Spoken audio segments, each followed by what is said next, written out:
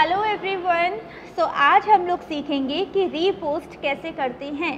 तो रीपोस्ट करने के लिए हमारे पास खुद का इंस्टाग्राम अकाउंट होना चाहिए एंड हमारे पास में ये ऐप होना चाहिए जिसका नाम है रीपोस्टा इस रीपोस्टा ऐप को आपको डाउनलोड करना है प्ले स्टोर में से। अब मुझे यहाँ पे शाह पल्लवी ऑफिशियल की आईडी में से कुछ पोस्ट करना है अपनी तो मैं क्या करती हूँ? मैंने जैसे पल्लवी की आईडी ली और हमें किसी के पर्सनल पिक्चर ज़्यादा यूज़ नहीं करने जैसे रिकग्नाइजेशन के पिक्चर्स हैं या फिर आ, किसी का टाइटल हुआ है हम उस टाइप के पिक्चर्स को हम रीपोस्ट कर सकते हैं। ध्यान रखिए किसी के पर्सनल पिक्चर्स को आप ज़्यादा यूज़ नहीं करेंगे विदाउट उसकी परमिशन के।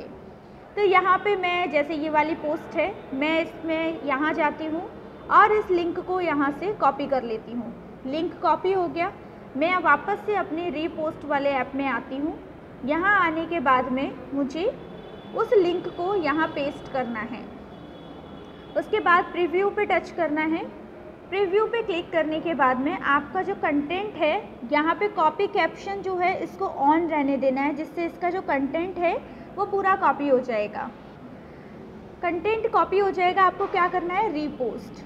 रीपोस्ट पे जाना है आपको। रीपोस्ट पे जाने के बाद फ़ीड में जाना है, इंस्टाग्राम फ़ीड। यहाँ पे पिक्चर आ गया।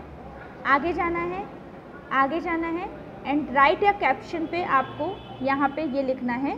वो ऑटोमेटिकली जो कॉपी था, वो कॉपी होकर यहाँ पेस्ट हो गया एंड डन तो जो भी पल्लवी शाह की प्रोफ़ाइल पे पोस्ट थी, वो अब इस पोस्ट पर आ गई हैं यहाँ पे। तो यहाँ पे इस तरीके से हम अपनी प्रोफ़ाइल को फुलफ़िल करने के लिए हम इस तरीके से पोस्ट कर सकते हैं। आप दिन में, अगर आप न्यू हैं तो दिन में दो से तीन पोस्ट कर सकते हैं, लेकिन किसी की पर्सनल प्रोफ़ाइल पर्सनल पिक्चर्स को यूज़ नहीं करें। आपको सिर्फ़ अपनी, उसके अचीवमेंट्स रिकग्नाइजेशन मोटिवेशनल वीडियो आप ये यूज़ कर सकते हैं। एंड कोशिश कीजिए कि आपके ही नेटवर्क का हो, जो भी आप रिपोस्ट कर रहे हैं। Thank you